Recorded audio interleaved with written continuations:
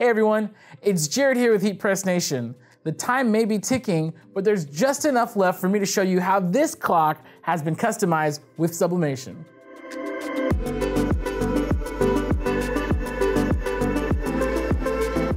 At first look, wall clocks seem almost impossible to sublimate without a special heat press.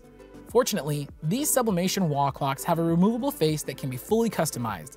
The 8 and 1 8 inch aluminum face for this Unisub kit offers a gloss white surface similar to a photo panel, so sublimation transfers will appear beautiful and vibrant for all of your photos and illustrations.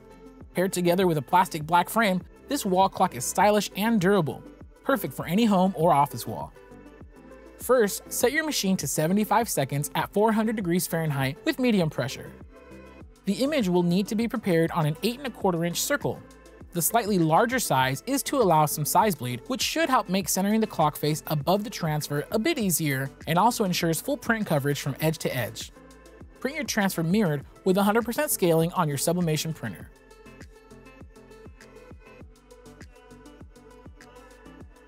Then, remove the front protective layer of the clock face. Place it face down on the center of the transfer and then secure it in place with some heat tape. In between two parchment paper sheets, place the clock face on the lower platen,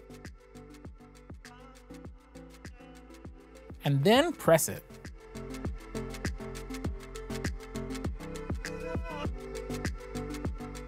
Once the timer reaches zero, bring the clock face out to cool for a brief moment, then go ahead and peel off your transfer. Now it's time to assemble our clock. And just like that, our customized clock is ready to go. If you'd like to learn more about this and other sublimation blanks, visit us at heatpressnation.com.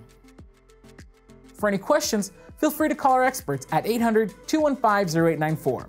Once again, I'm Jared with Heat Press Nation, and thanks for watching.